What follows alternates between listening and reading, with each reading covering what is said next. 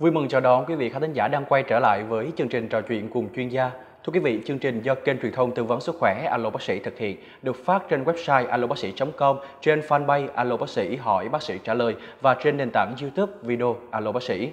Thưa quý vị, tiếp tục với chuỗi chương trình giao lưu trực tuyến để mà trò chuyện cùng với các vị bác sĩ chuyên gia về các vấn đề về các căn bệnh liên quan trong ngày Tết để mà thông qua chương trình một phần nào đó giúp cho quý vị sẽ đón một cái Tết vừa an lành vừa khỏe mạnh. Và ngày hôm nay chúng tôi sẽ thực hiện chủ đề là trẻ về quê đón Tết, dị ứng thức ăn, dị ứng môi trường thì cha mẹ cần xử trí như thế nào? Thưa quý vị và đồng hành cùng với chúng ta ngày hôm nay, Thanh Giáo xin phép được trân trọng giới thiệu có bác sĩ chuyên khoa 2 Nguyễn Thị Thanh, nguyên là trưởng khoa nội một của bệnh viện Nhi đồng 2 thành phố Hồ Chí Minh. Dạ vâng, xin chào bác sĩ Thanh. Chào em, chào các khán giả. Dạ. À, thưa bác sĩ Thanh, dịp Tết thì là thường thường bố mẹ thường đưa các bé về quê để thăm ông bà, thăm họ hàng trong một năm mà làm việc học tập trên này thì khoảng thời gian này thì là một khoảng thời gian dễ gây ra những cái vấn đề về dị ứng thức ăn, dị ứng môi trường. Vậy đầu tiên chương trình thì xin phép hỏi bác sĩ Thanh là tác nhân nào gây ra dị, dị ứng thức ăn ở trẻ trong những cái thời điểm này ạ? Dị ứng thức ăn là một cái phản ứng à, của cơ thể đối với một à, chất nào đó có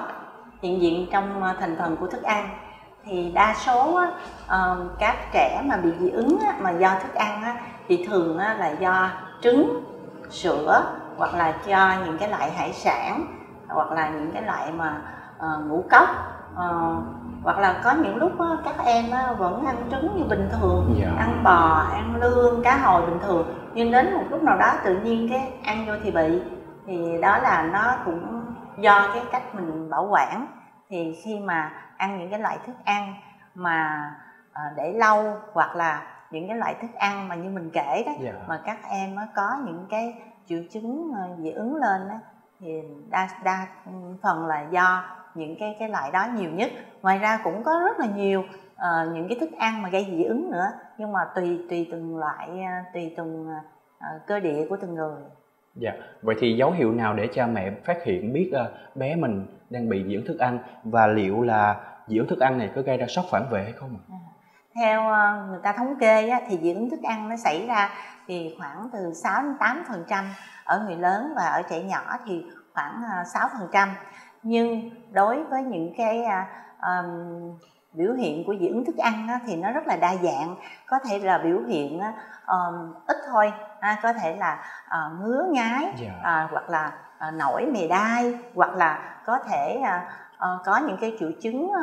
không phải là ngoài da mà qua đường hô hấp chẳng hạn như là uh, khó thở hay là uh, nhảy mũi hắt hơi rồi có thêm nữa là những cái triệu chứng ung thư quá như là đau bụng hay là tiêu chảy uh, hoặc là có những cái cơn co thắt ở bụng. Ngoài ra nó có những cái triệu chứng uh, uh, khó thấy hơn ha, chẳng hạn như là lừ đừ chán ăn hay là có những cái um, biểu hiện nó, nó không phải là ở hệ hô hấp tiêu hóa mà nó là tổng trạng. Chẳng hạn như tự nhiên thấy mệt mỏi cáo gắt hơn hoặc là uh, viêm kết mạc hay là chảy nước mắt nhiều hơn thì cái biểu hiện của dị ứng á, thức ăn nó, nó đa dạng có thể là từ nhẹ đến nặng thì nhẹ nhất á, là có những cái chẳng hạn như là rối loạn tiêu hóa hay là những cái mà hơi uh, khò khè khó thở chút. Nên nhưng mà nó cũng có biểu hiện là từ ít đến nhiều và, và có những cái trường hợp mà bị sốc phản vệ luôn. À, do cái dị ứng thức ăn thì nó xảy ra ngay lập tức khi mà tiếp xúc với cái loại mà uh, dị ứng với cái cơ địa đó cái cơ thể của uh, cháu. Và cái thứ hai nữa là khi mà sốc phản vệ á, thì uh, lập tức là bé nó khò khè khó thở hoặc là có thể là nó sưng cái mặt lên hoặc là có thể là um, con mắt nó sưng to lên đỏ lên và nước mắt nước mũi chảy rất là nhiều ừ. thì những cái trường hợp đó đó thì nếu mà uh, chúng ta để chậm xử trí á, thì nó sẽ ảnh hưởng đến cái uh, tính mạng của trẻ bởi vì đã chẩn đoán là sốc phản vệ là bé nó sẽ từ từ nó sẽ trở thành choáng rồi huyết áp ừ. tụt rồi mạch nhanh thì lúc đó mình phải đưa đến cái đơn vị y tế mà gần nhất để mà kịp thời xử trí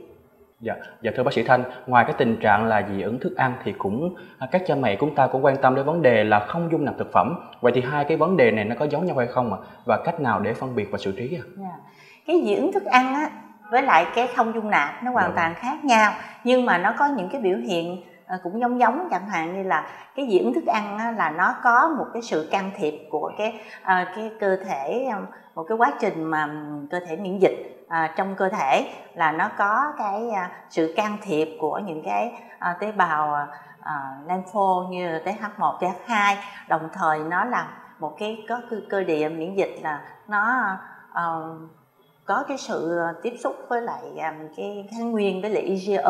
là những cái kháng thể có trong cơ thể. Còn trong khi đó bất dung nạp à, thức ăn á, thì nó khác một chút. Tức là à, cơ thể thiếu một cái enzyme nào đó chẳng hạn như là thiếu men lacta sẽ tiêu hóa cái lactose trong sữa. Ừ, hoặc là những cái trường hợp mà à, dị ứng với những cái loại mà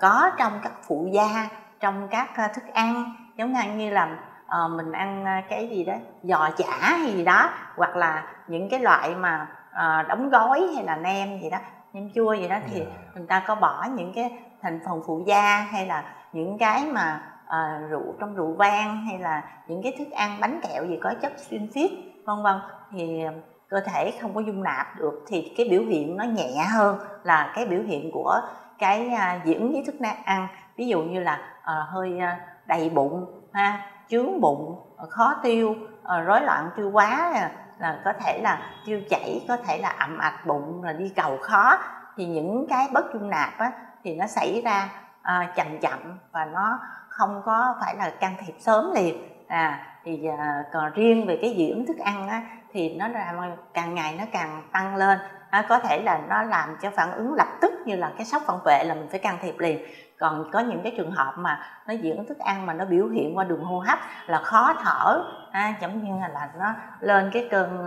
uh, co thắt yeah. Dạ. thì uh, hen suyễn chẳng hạn thì lúc đó mình phải can thiệp bằng cách là xong khí dung chẳng hạn hoặc là can thiệp bằng những cái thở oxy vân vân tùy theo tình trạng do đó mà cái dị ứng thức ăn với cái bất dung nạp uh, thức ăn nó hoàn toàn nó triệu chứng thì nó hơi giống nhau nhưng mà cái cách xử trí và cái độ mà mình uh, quan quan tâm đến thì nó cũng là giống như nhau nhưng mà mình phải cần can thiệp liền trong cái vấn đề dị ứng thức ăn yeah. Dạ.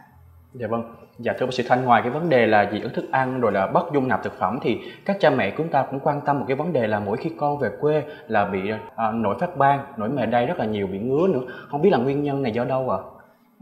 thì à, ngoài cái dị ứng thức ăn đó thì tôi cũng có làm một cái công trình nghiên cứu á, dạ vâng. ở các trẻ mà nó hay gây hay bị dị ứng đó, thì tôi thấy là đa số là các trẻ bị uh, các loại uh, dị ứng do cái con mặt nhà đó yeah. Dạ. mà có trong gì trong bụi nhà nè trong những cái chỗ mà giống như là mình nuôi gà vịt nhiều hoặc là những cái da cầm gia súc vân vân thì nó cũng tạo nên những cái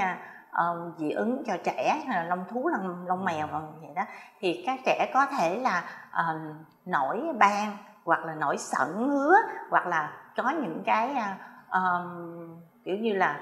mề đai từng về từng về tức là cái cái cái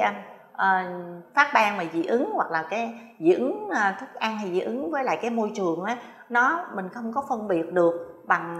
uh, cái cái mình phải tìm cái nguyên nhân chứ không phải là uh, mình nhìn cái uh, phát ban này là phát ban do thức ăn hay gì yeah. Dạ. hết tại vì biểu hiện thì nó sẽ giống nhau hết nhưng mà nguyên nhân thì chúng ta sẽ coi lại à cái lịch sử là em bé nó hồi nào giờ nó có hay bị hay không? Yeah. Dạ. như hồi nào giờ à, bên nguồn gốc cha mẹ hay là gia đình nó có cái dị ứng hay là hen suyễn hay viêm mũi dị ứng gì đó thì em bé có. Thứ nhất là có cái tiền sử rồi. Cái thứ hai nữa là hồi nào giờ em bé nó có cái tiền sử bản thân nó tức là uống sữa vô nó có bị gì hay không? Hay là nó ăn trứng nó có bị gì hay không? Có những trường hợp có những em bé là uống sữa nào giờ cũng bị. Ví dụ cái đến một giai đoạn nào đó thì em sẽ bắt đầu phát triển ra cái dị ứng ờ, đạm sữa bò chẳng hạn thì cái đó là mình mình làm một cái phần riêng nhưng mà riêng á những cái thức ăn chẳng hạn như nó ủa nào giờ con em ăn hải sản đâu có bị bác yeah. Dạ. sao bây giờ tự nhiên lại bị à mình lưu ý là hải sản mà tươi sống á, thì rất là tốt bởi vì không chưa có những cái chất bảo quản cũng như là khi mà những cái hải sản mà uh, chúng ta uh, lưu trữ và bảo quản đó, cái độ lạnh á, nó không đầy đủ thì nó làm sao nó phóng thích ra những cái chất um, histamine uh, trong vô cơ thể nó không có tốt. Tại vì những cái loại hải sản này rất là nhiều histidine mà biết là histidine nó có thể chuyển hóa thành histamine và nó làm cho co thắt à, hoặc là nó giãn nở các mạch máu rồi nó làm cho uh, phóng thích ra những cái hóa chất trung gian mà nó không tốt cho sức khỏe. Như vậy đó thì khi chúng ta về quê á, thì uh, Ờ, có thiên nhiên nè ha có không khí trong lành nhưng đồng thời đối với những trẻ có tiền sử dị ứng với thời tiết hay môi trường hay là dị ứng với thức ăn thì các phụ huynh à, nên lưu ý dùm những cái đó và mình tìm ra nguyên nhân. Tại vì cái nguyên nhân nó quan trọng lắm. Hãy mình tìm ra nguyên nhân rồi nghĩa là mình cắt liền cái sự uh, tiếp xúc với cái nguyên nhân dị ứng thì lúc đó mình mới xử trí được. Dạ thưa bác sĩ, vậy thì khi à, các bé chúng ta bị dị ứng thức ăn cũng như là dị ứng môi trường thì trường hợp nào phụ huynh có thể điều trị ở nhà và điều trị như thế nào? À, khi mà dị ứng với thức ăn hay dị ứng môi trường á, thì các bạn lưu ý nè thứ nhất là nếu mà bé mình nó có cơ địa dị ứng rồi á, thì chúng ta phải nên đem theo những cái thuốc mà kháng histamine à, được à, à, bác sĩ gia đình ghi trước ghi nhận trước còn nếu mà hồi nào giờ con đau không có bị mà bây giờ mới bị thì tùy theo nó biểu hiện ví dụ như cháu biểu hiện là chỉ mẫn đỏ thôi hoặc là hơi khó chịu hoặc là uh, hơi uh, kiểu như nổi mề đai chút định thì chúng ta có thể để ở nhà chúng ta tìm cái nguyên nhân mà chúng ta biết ra rồi chúng ta tránh lại đó và cho nó ăn uống bình thường trở lại rồi có thể là uống nước cam nước chanh uh, và uống một ít kháng histamine. Còn nếu mà thấy mà tự nhiên bé nó khò khè khó thở nhiều quá hoặc là em bé sưng miệng sưng đỏ mặt hay là thấy nó nôn ói nhiều quá dạ. thì chúng ta phải đưa đi khám ở trạm y tế hay là ở đơn vị y tế gần nhất à, hoặc là chúng ta sẽ kết nối với bác sĩ gia đình hay là bác sĩ mà uh, chúng ta biết đó thì để mà can thiệp liền à, bởi vì nếu mà ở cái phản ứng dị ứng mà kiểu mà sốc phản vệ hay là dị ứng mà nó ảnh hưởng đến cái đường thở của em bé hoặc là nó ảnh hưởng chẳng hạn có nhiều đứa bé tội nghiệp lắm nó sưng đỏ con mắt yeah. Dạ. lên mờ mắt luôn nước mắt mũi chảy rất là nhiều đó, thì chúng ta um, phải liên hệ với trạm tế liền. Bởi vì sao? Ngày tết mà nếu chuyện nó xảy ra thì nó cũng sẽ không vui. Có nhiều người á rất là sợ đi bác sĩ đầu năm nhưng mà ở cái chỗ trường hợp này dị ứng thức ăn mà nó có những cái phản ứng như vậy là chúng ta không nên chần chừ. Các phụ huynh nên uh, liên lạc với lại ờ, bác sĩ gần gần nhất. Yeah. yeah. Vậy thì để đề phòng cái tình trạng dị ứng thức ăn cũng như là dị ứng môi trường, à, cha mẹ chúng ta cần lưu ý những gì trước khi mà đưa trẻ về quê để đón Tết ạ? À? Yeah. À, đối với những trẻ mà nhỏ đó thì trước khi về quê đón Tết thì chúng ta phải chuẩn bị đầy đủ loại sữa mà hồi nào giờ nó uống chứ đừng có mình không um, hết sữa cái mình đến à, đến một cái địa phương hay là về quê mình không có đầy đủ cái loại sữa nó uống mình lấy cái sữa khác thì em bé sẽ dễ uh, gây ra tình trạng kích ứng hoặc là Ờ, không có dung nạp được cái sữa tại vì nó chưa có quen cái loại sữa đó thì chúng ta chuẩn bị thức ăn cho em. Cái thứ hai nữa là sẽ có những cái à, à, trẻ lớn thì có những cái đồ ăn thức uống nghĩa là rất là bắt mắt rất là nhiều khi mà được mâm cổ bày lên. Thì các em là cũng rất là thích ăn mà yeah. Dạ. gia đình à, ông bác à, ông bà cha mẹ cô bác gì cũng muốn cho con ăn những cái gì ngon nhất nhưng thực ra đó những cái sản phẩm mà đã được chế biến á, thì có thể là mới vừa chế biến mà cũng có thể là à,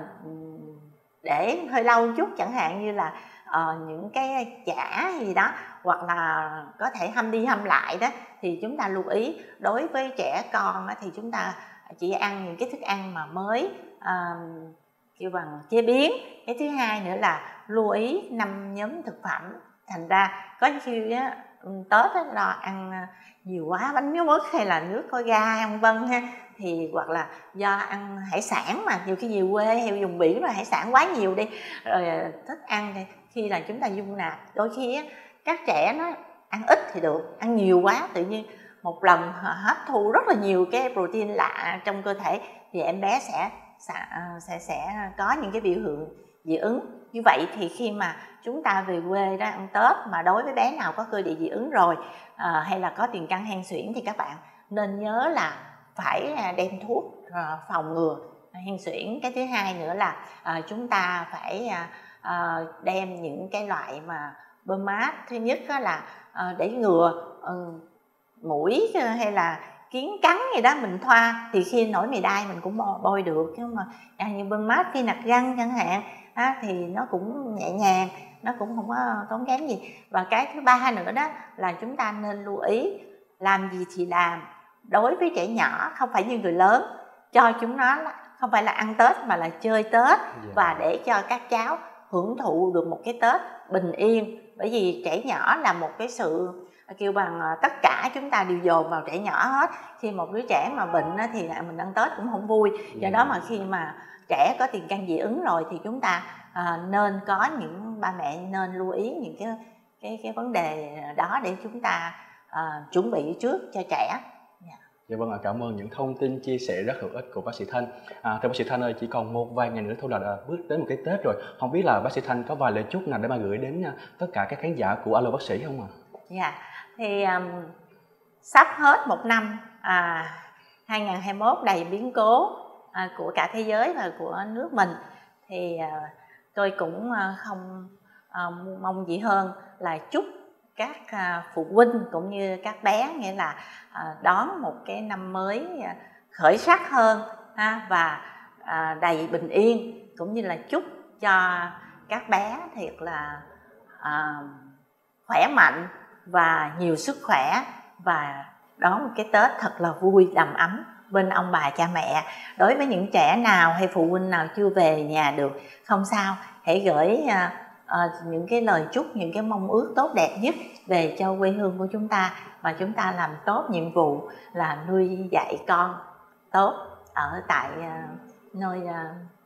trú ngụ xin cảm ơn nhiều lắm Dạ vâng ạ, cảm ơn một lời chúc rất là ý nghĩa của bác sĩ Thanh dạ. và Thanh Đốc cũng xin thay mặt cho tất cả quý vị khán giả cũng như là những người thực hiện chương trình xin gửi lời cảm ơn bác sĩ Thanh rất là nhiều và cũng uh, nhân dịp Tết đến xuân về thì Thanh Đốc xin phép chúc bác sĩ Thanh có thật nhiều sức khỏe và bình an trong năm mới. Dạ, dạ vâng cảm ơn em, cảm dạ. ơn uh, alo bác sĩ rất là nhiều. Và cũng cảm ơn tất cả quý vị và các bạn đã đồng hành cùng với chúng tôi xuyên suốt trong một năm vừa qua. Chỉ còn vài nữa thôi là đón một cái Tết rồi. Xin thắp chúc tất cả quý vị có thật nhiều sức khỏe, bình an và hạnh phúc. Còn bây giờ thì xin chào và hẹn gặp lại trong những số phát sóng tiếp theo. Hãy đăng ký kênh Alo Bác sĩ Video để nhận thêm nhiều thông tin mới nhất về y tế, sức khỏe.